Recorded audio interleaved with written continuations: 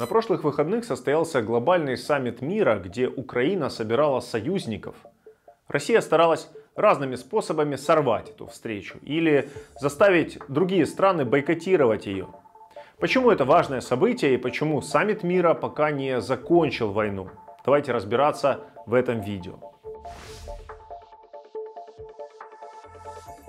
15 и 16 июня в Швейцарии прошел первый саммит мира для Украины. На него собрались представители более чем 90 стран и больше десятка международных институций. Среди стран, которые поддержали финальное заявление, были даже такие условные скептики, как Сербия и Венгрия. Россию на саммит не позвали, потому что это пока не место для прямых переговоров. Хотя в будущем, судя по заявлениям, саммит может стать такой площадкой. Интересно, что за несколько недель до встречи РФ и ее союзники стали пытаться срывать саммит.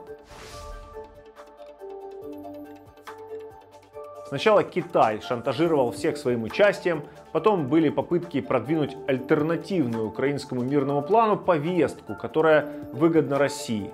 А перед самим стартом встречи Владимир Путин сделал заявление о возможности полного прекращения огня. О том, что это манипуляция, говорят неподъемные условия, которые Путин предлагал для завершения войны. По сути, это те же тезисы, с которыми он начинал полномасштабное вторжение, только еще более масштабированные а именно вывести украинскую армию с подконтрольных Запорожской и Херсонской областей, что означает фактически отдать эти регионы, отказаться от вступления в НАТО, сократить армию и так далее. Предложения президента РФ прозвучали как истерика. Кстати, именно так их и восприняли главы разных стран-союзниц Украины.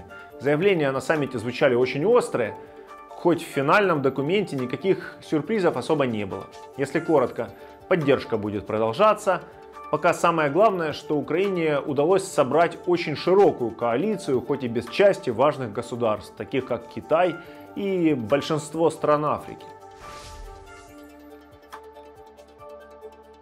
Если вы ждали от этого саммита мира новостей об окончании войны, то разочаровываться рано. Обсуждение условий окончания войны и не предполагалось, как и прямых переговоров между сторонами. А вот на вторую встречу Россию уже собираются пригласить.